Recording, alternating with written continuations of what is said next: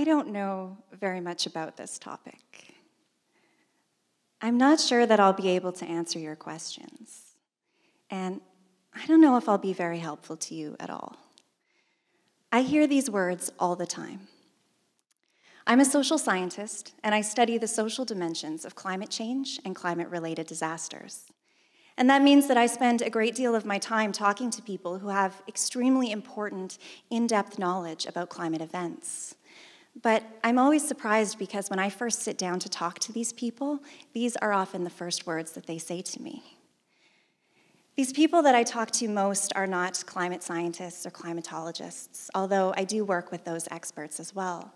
But the experts that I talk to most are the invisible experts. They're experts who experts in the lived experience of climate change, of a climate extreme. They're people who have seen their entire livelihoods threatened and sometimes even decimated by a single climate event. The people, the experts that I talk to most are farm women. They're farm women that live and work here in the Canadian prairies and around the world. They are experts who live on farms near towns that have names like Elbow and Ituna and Carrot River. And if, like me, you're from rural Saskatchewan, then you know all about these kinds of places. And so I grew up on a farm in rural Saskatchewan near a town named Kelvington. And growing up, I spent my childhood doing things like going on walks, adventures through the bush with my dogs, and getting my legs all cut up from running through fields full of wheat stubble. And like all farmers, my parents experienced dry years and droughts. They experienced extreme precipitation and flash floods that wiped out crops. But I was lucky because as a child, I was relatively sheltered from most of it.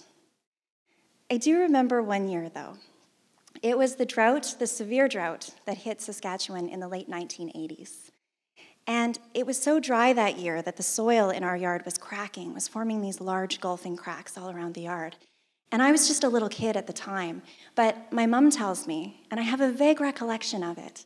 My mom tells me that I spent a lot of time that year with my little watering can, going around our yard and wandering, uh, watering the cracks in the yard because I was afraid that those cracks were going to turn into earthquakes. 20 years later, I moved to a large city. I moved to Toronto as a young adult. And it was during my time living in a large city, in a large urban space, that I realized how often rural people and rural places, like the people and places that I knew growing up, get overlooked. And I learned how frequently their contributions, like their contributions to our food system, get ignored. And I began to realize even further that amongst this whole ignored rural sphere of agricultural people and agricultural places, that farm women specifically are the invisible food producers. And their invisibility is a product of a culture that for a very long time has equated the word farmer with the image of a man. And that's why here in North America, especially when I say the word farmer, most people are very likely to envision someone who looks a lot like this. That's why, when I say the word farmer, most people are very unlikely to envision someone who looks like this, or perhaps like this. And that's why, when I sit down with farm women, farm women who make absolutely crucial contributions to our food system, farm women who play essential roles in Canadian agriculture, they tend to describe those crucial contributions, those essential roles, using words like helper supporter, employee, and hired man. And this invisibility, this marginalization of women's contributions to agriculture exists around the world. In low income countries, the countries of the global south, countries that we used to call the third world, women actually constitute the majority of agricultural producers, but they do this agricultural production on the smallest plots of land they do it on the most marginal and the least productive plots of land. And they do it in some countries on land that they can't even hold in their own names. And they do it without access to many of the economic and agricultural resources that we would consider to be essential for agriculture. And so, in 2009, I began a research project where I wanted to begin to value the contributions of farm women. And I wanted to consult with farm women as experts in their fields. And so I drove around the province of Saskatchewan and I sat down in farm women's kitchens and we talked. And we talked about things that are commonly associated with women.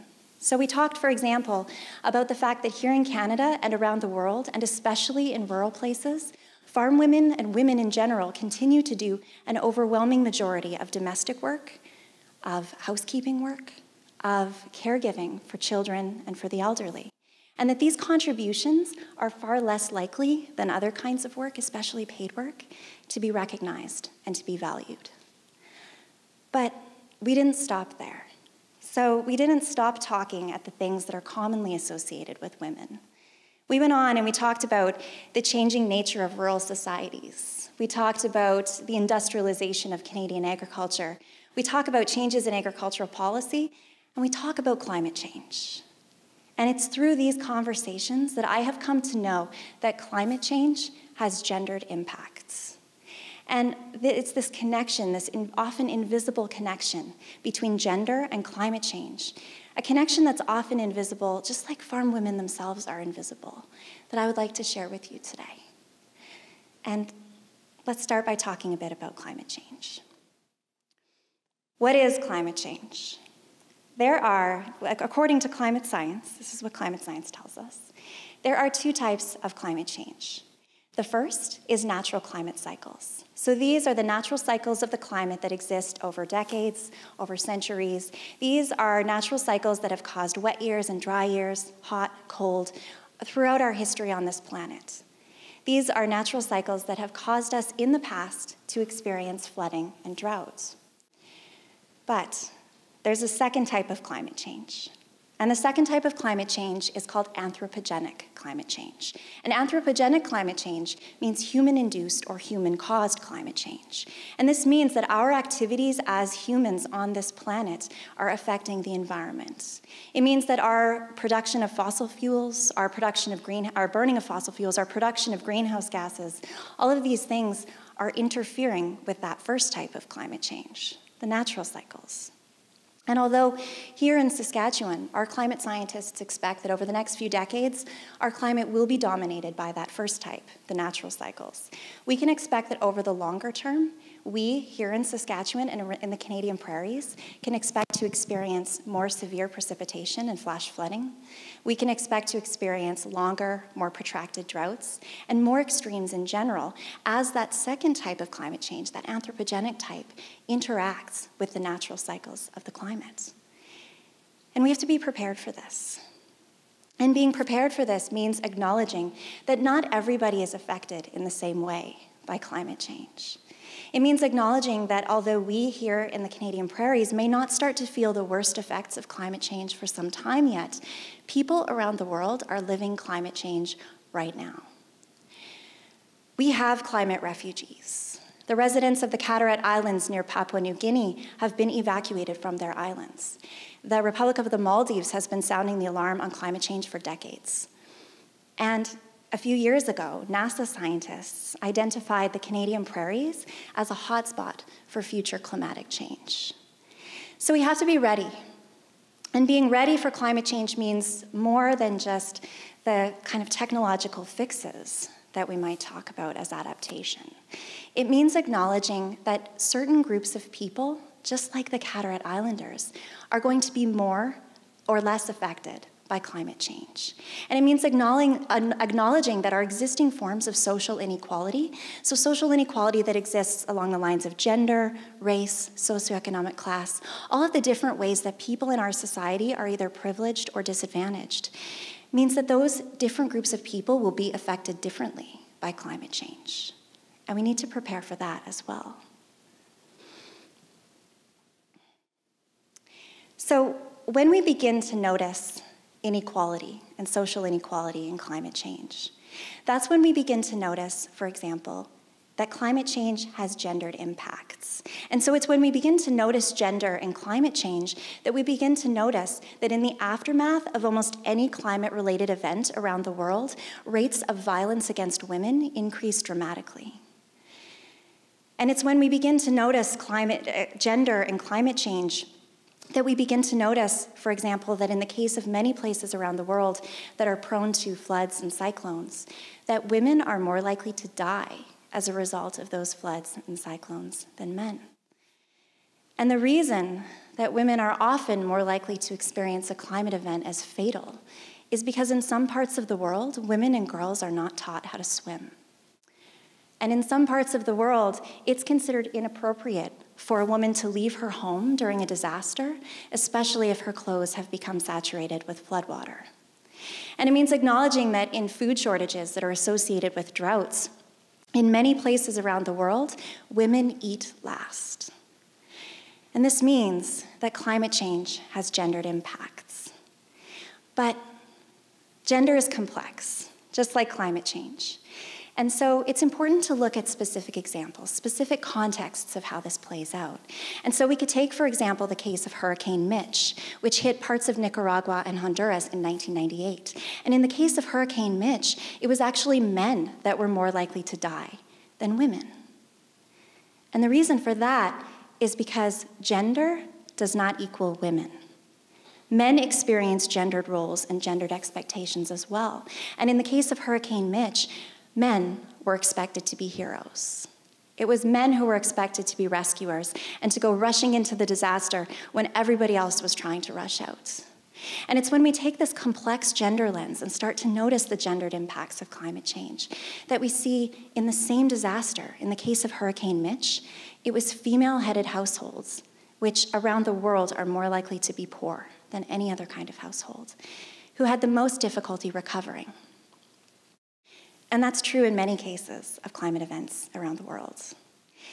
And we saw that in the case of Hurricane Mitch, as well as many other climate extremes, we see that it's women agricultural producers, farm women, who often have the most difficulty recovering their operations after a disaster.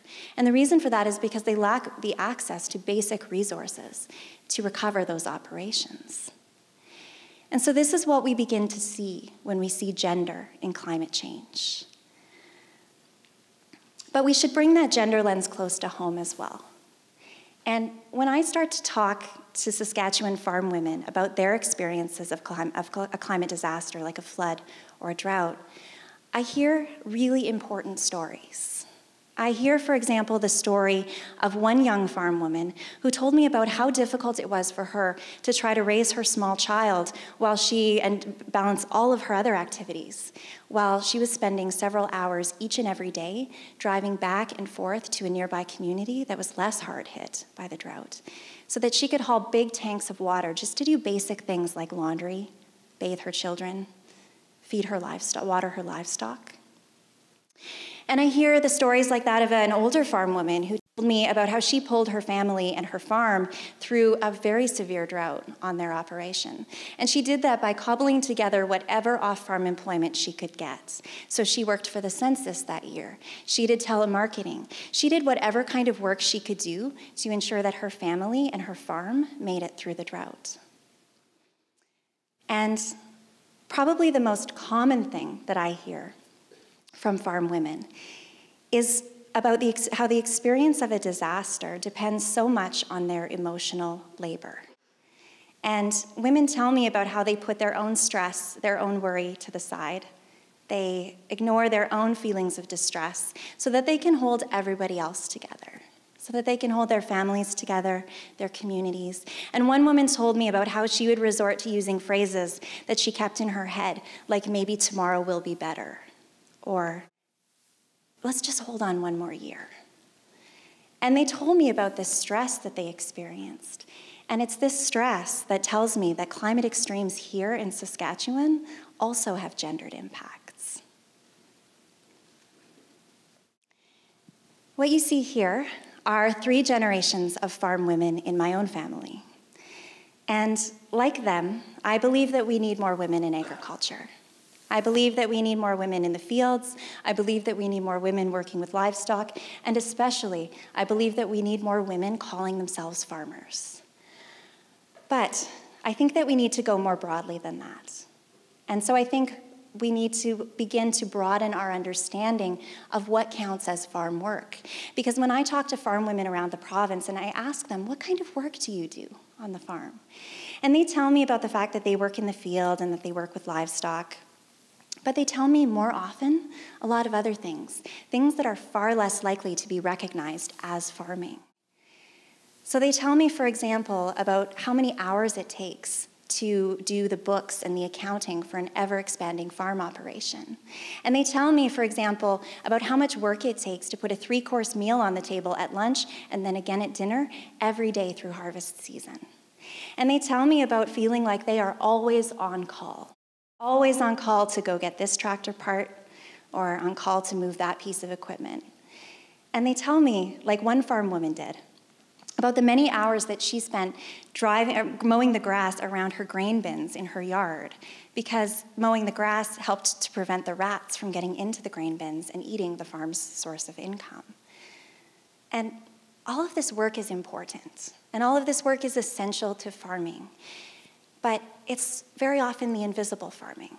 It's the work that doesn't get recognized as agriculture. And so I would like us to begin to expand our definition of what counts as farming and who counts as a farmer. And when we do that, I think that we'll begin to see how to prepare ourselves for future climate change. I would like our governments and our policymakers to consult with farm women as experts in agriculture because they are experts in agriculture.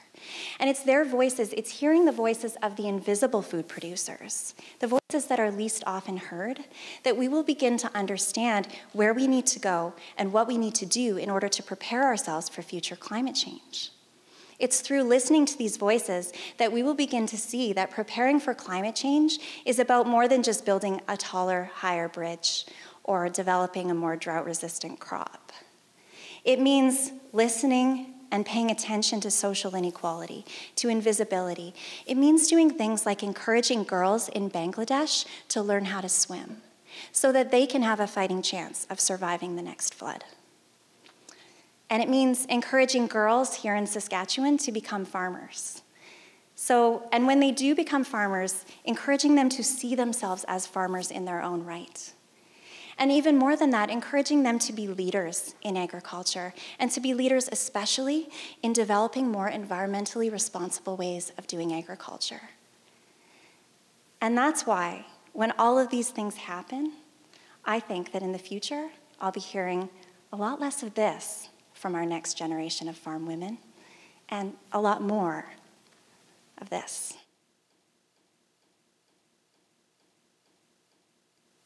Thank you very much.